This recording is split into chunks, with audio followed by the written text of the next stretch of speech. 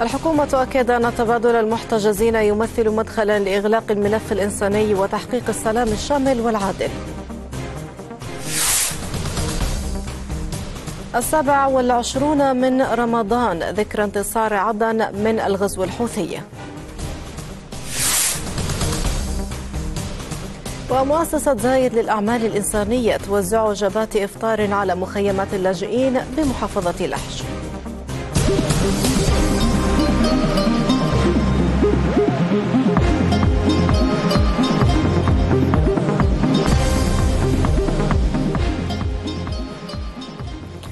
أهلا بكم مشاهدينا في هذه النشرة الإخبارية من قناة الغد المشرق. ترأس رئيس مجلس الوزراء دكتور معين عبد الملك اجتماعا استثنائيا لمجلس الوزراء جرى خلاله بحث تطورات الأوضاع العامة والتداول بشأن مستجدات التحركات الإقليمية والأممية والدولية لإحياء مسار السلام الشامل والمستدام. وقدم رئيس الوزراء في مستهل الاجتماع إحاطة شاملة لأعضاء المجلس حول التطورات السياسية والعسكرية والأمنية والاقتصادية والخدمية إضافة إلى نتائج الاجتماعات المتواصلة مع مجلس القيادة الرئاسي والدول الشقيقة والصديقة. وبارك مجلس الوزراء للمعتقلين والمحتجزين والمخفيين قسرا نجاح صفقة التبادل وفقا لاتفاق سويسرا. والعودة سالمين إلى أهاليهم. وأهمية الاستمرار في جهود إغلاق هذا الملف الإنساني والبناء عليه لتحقيق السلام الشامل والعادل في ربوع اليمن. أعربت الحكومة عن أملها أن تمثل عملية تبادل المحتجزين مدخلا لإغلاق هذا الملف الإنساني والبناء عليه في تحقيق السلام الشامل والعادل في ربوع اليمن. وجددت اليمن في بيان لمجلس الأمن الترحيب باستكمال تنفيذ المرحلة الأولى من عملية تبادل المحتجزين بين الجانبين الحكومي والميليشيات الحوثية التي جرت على مدى ثلاثة أيام. هذا وأشادت الحكومة بالتقدم المحرز في عملية الإنقاذ الآمن لخزان النفط الصافر والمتمثل في شراء ناقلة بديلة لتفريغ النفط الخام من الناقل الصافر وإبحارها تجاه السواحل اليمنية. أكد مبعوث الأمم المتحدة بشأن اليمن في جلسة مجلس الأمن أن الفرصة الأهم منذ ثمان سنوات سانحة الآن لإحراز تقدم نحو إنهاء الحرب. لكنه حذر من أن دفة الأمور قد تتحول إذا لم يتخذ الطرفان خطوات أكثر جرأة نحو السلام. يستمر المبعوث الأممي بخطواته الجادة للخروج بحل من شأنه تخفيف حدة الحرب على الشعب اليمني. وآخر هذه الخطوات إحاطته لمجلس الأمن التي قدمت حول آخر التطورات وجهود السلام القائمة في الوقت الراهن حيث أكد المبعوث بأن تنفيذ بنود الهدنة مستمر رغم كل التحديات القائمة ولكنه من الصعب الاعتماد عليها لتحقيق السلم التام للمستقبل اليمني. وأشار بإحاطته أن جهود الوساطة سوف تتكيف على الدوام لإنهاء الحرب والمعاناة في اليمن ولكن يجب الاجتهاد بشكل أكبر لتحقيق الاتفاق وتهدئة الوضع. وأضاف بإحاطته بأنه مستمر بالنقاش مع الأطراف والجهات الفاعلة الإقليمية وبأنه مندهل من قدرة النسيج الاجتماعي على التفاعل سويا والصمود رغم الوضع الصعب. وإلى ذلك أكد جروندبرغ بأنه على مدار السنوات الثمان لم يشهد اليمن تطور في حركة العملية السياسية كالحاصلة حاليا وبأن اليمنيين قد اختبروا على مدار ما يقرب العام منذ بدء تنفيذ الهدنة مستويات منخفضة نسبيا من العنف في المدن ويأمل المبعوث الأممي بأن يتم انتهاز الفرص التي يقدمها هذا الزخم الإقليمي والدولي من أجل اتخاذ خطوات حاسمة نحو مستقبل أكثر سلاما وإنقاذ الوضع الاقتصادي والإنساني في البلاد. بحث نائب رئيس مجلس القيادة الرئاسي رئيس المجلس الانتقالي الجنوبي عيدروس الزبيدي. مع سفيرة مملكة الدنمارك غير المقيمة لدى اليمن ليز بليزنر الوضع السياسي والإنساني في البلاد. وناقش اللقاء نتائج المفاوضات التي أجراها الوفدان السعودي والعماني مع قيادة ميليشيات الحوثي في صنعاء. وأبرز الصعوبات التي تواجه المحادثات المباشرة وخارطة الطريق المطروحة لإنجاح العملية السياسية ووضع قضية الشعب الجنوبي فيها. تحل علينا اليوم الذكرى الثامنة لتحرير العاصمة عدن من ميليشيات الحوثي ودحرها من قبل المقاومة الجنوبية وبدعم وأسناد من قوات التحالف العربية. كابوس حل على العاصمة عدن وغدا يوم احتلالها يوما أسودا حين سيطرت على أجزاء منها عصابة إجرامية همجية غوغائية. عصابة ميليشيات الحوثي الإجرامية بدعم إيراني خالص. لكن هذا الكابوس لم يدم طويلا حيث تشكلت مجاميع من أبناء الجنوب تحت راية الجنوب وسميت بالمقاومة الجنوبية. للتصدي لهذا الغزو البربري للعاصمة الجنوبية عدن وبدعم من الأشقاء في دولة الإمارات. تحل علينا الذكرى الثامنة لمعركة تحرير العاصمة عدن التي شاركت فيها القوات الإماراتية البرية بوحدات نوعية وغطاء جوي سعودي. ساهم في قلب المعادلة الميدانية والتحكم بمسرح العمليات من خلال خطة عسكرية محكمة. قطعت أوصال الميليشيات وعجلت بانهيار صفوفها وتمت السيطرة الحوثية على العاصمة عدن من خلال الوحدات العسكرية التي كانت متواجدة فيها وتتبع الجيش اليمني حينها وعددها قرابة تسعة ألوية وثلاثة ألوية قوات أمنية إضافة إلى مجاميع حوثية وصلت من صنعاء. وبينما كانت مجاميع ميليشيات الحوثي تصل إلى القصر الرئاسي في معاشق.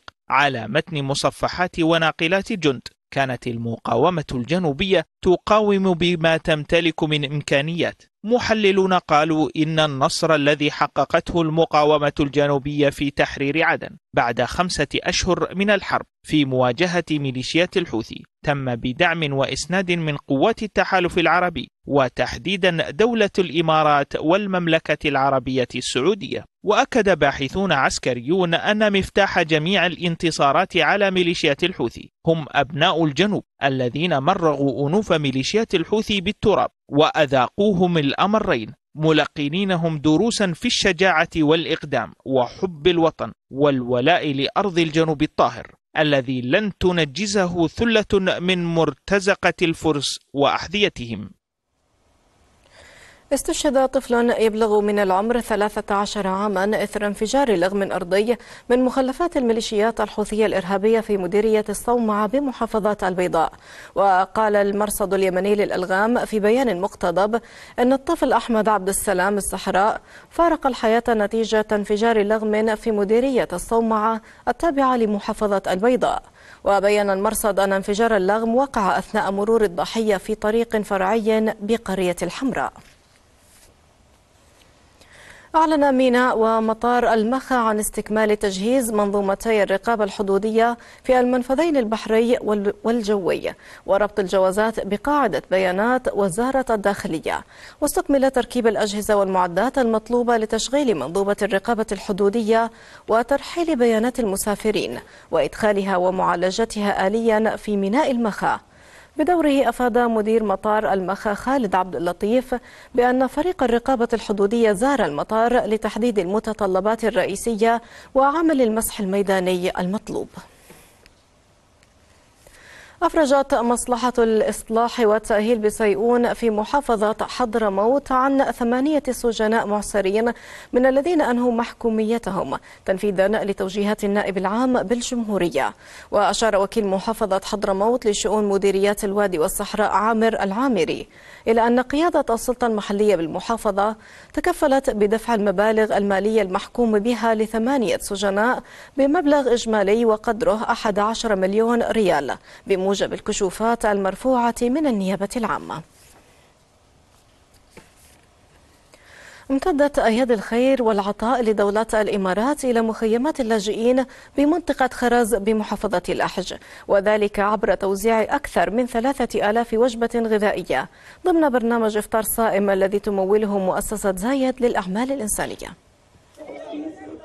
ضمن البرنامج اليومي بشهر رمضان الكريم لمشروع إفطار صائم الذي تموله مؤسسة زايد للأعمال الإنسانية نفذت مؤسسة تعايش عملية توزيع الوجبات الغذائية على مخيمات اللاجئين الأفارقة بمنطقة حرز بمحافظة لحج هدفنا اليوم مخيم خرز للاجئين الأفريقيين والذي في ضمنها مجتمع مضيف ب 3000 وجبة إفطار صايم الذي تقيمه مؤسسة زايد للأعمال الخيرية والإنسانية.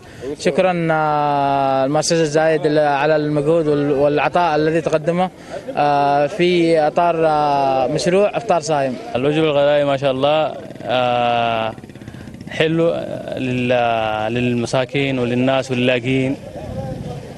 وإن شاء الله نتمنى خير هذا الإفطار. برنامج إفطار صائم في منطقة خرز شمل توزيع أكثر من ثلاثة آلاف وجبة غذائية متكاملة للاجئين الصومال والمواطنين في المنطقة والقرى المجاورة لها. اليوم نستقبل في مخيم خرز اللاجئين مشروع دعم سخي من مقدم مؤسسة زايد للأعمال الإنسانية تنفيذ من من مؤسسة تعايش إفطار صائم لعدد 3000 صائم في مخيم خرز. أتمنى أن تستمر مبادرات مماثلة في المستقبل بما أن المخيم يواجه صعوبات بشكل مستمر وتحديات كبيرة. إمارات الخير والعطاء عبر أذرعها الخيرية ممثلة بمؤسسة زايد للأعمال الإنسانية. لامست وواست اللاجئين الصومال بمخيمات خرز والتي تحتضن أكثر من عشرة آلاف لاجئ صومالي نزحوا من بلادهم هربا من ويلات الحرب ليستقر بهم الحال في هذه المنطقة النائية التي تفتقر لأبسط الخدمات ومقومات الحياة. تستمر دولة الإمارات العربية الشقيقة في مشاريعها الخيرية والإنسانية وذلك بمشروع إفطار الصائم الذي تموله مؤسسة زايد للأعمال الإنسانية. وهذه المرة من مخيم خرز للاجئين الأفريقيين. لقناة الغد المشرق عثمان عامر من محافظة لحي النشرة مستمرة وفيها بعد الفاصل.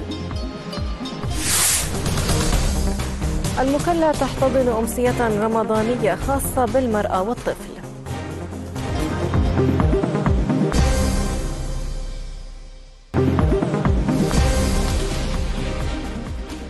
من جديد أهلا بكم.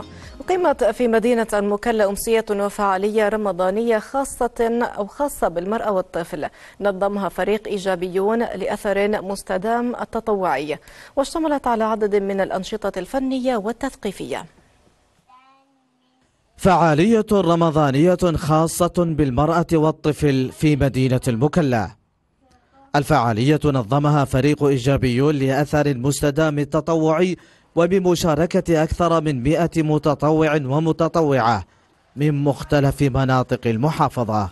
في الأمثلة الثقافية تكلمنا عن دور المرأة الحضرمية والرجل الحضرمي في حول غرس العادات والتقاليد الحضرمية وروحانية رمضان في أطفالهم. أيضا تكلمنا عن دور منظمات المجتمع المدني من حيث إتاحة الفرص وإزالة الصعوبات للفرق التطوعية في الفرق التطوعية في المكلا كثير من الفرق كثير كثير جدا. فكيف كمنظمات مجتمع المدني يقدرون يتيحون الفرص لهذه ويزيحون العقبات والعراقيل من طريقهم؟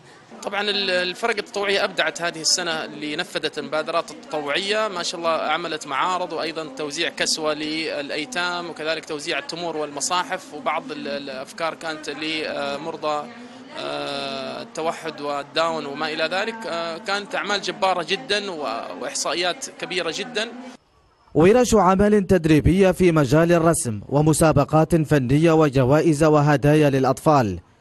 أنشطة تخللتها هذه الفعالية إلى جانب استعراض المواهب الفنية في مجال الإنشاد والمسرح وندوة اجتماعية تناولت أبرز الصعوبات التي تواجه الشباب في حضرموت الهدف إن إحنا ندخل السرور في الأطفال وبما إنها أصلا يعني مناسبة رمضان وزي كذا يعني حابين إنه يدخل السرور بين الأطفال نفسهم والأهالي يعني اللي جاوا معاهم بالضبط. وجينا شاركنا في هذا العام. وجينا هنا لأشارك بتفكيري ومساعدتي. لأرسم علم الجنوب وأنا احب وطني واحب بلادي واحب علم الجنوب. أنا أحب مهنة الرسم وأنا اجتمعت مع البنات في مهنة الرسم. في شهر رمضان. و ونشترك معهم في المسابقات في مهنة الرسم في الألعاب. الحضور اللافت للمرأة في مناسبة كهذه يؤكد دورها الفعال في العمل التطوعي وتأثيرها الكبير في أوساط المجتمع فهي تسهم من خلال هذه الفعالية إلى جانب الرجل في غرس مبدأ التطوع لدى الأطفال على وجه الخصوص. لقناة الغد المشرق محسن بالبحيث المكلا. أعلنت الرئاسة العامة لشؤون المسجد الحرام والمسجد النبوي نجاح خطتها المعدة لتفويج المعتمرين إلى المسجد الحرام ليلة السابع والعشرين من شهر رمضان لهذا العام. وهدفت الخطة إلى تسهيل عملية الدخول لقاصدي المسجد الحرام بالتعاون مع الجهات المشاركة لتكامل المنظومة وذلك عبر توجيه المصلين إلى الأدوار العلوية والمعتمرين إلى صحن الطواف حسب ما هو معد بخطة الرئاسة المعتمدة. يشار إلى أن نجاح الخطة أسهم في انسيابية الحشود وضمان السلامة وصحة قاصدي البيت الحرام. نهاية النشرة تذكيرا بالعناوين. الحكومة تؤكد أن تبادل المحتجزين يمثل مدخلا لإغلاق ملف الإنساني وتحقيق السلام الشامل والعادل. السابع والعشرون من رمضان. ذكرى انتصار عدن من الغزو الحوثي. ومؤسسة زايد للأعمال الإنسانية توزع وجبات إفطار على مخيمات اللاجئين بمحافظة لحج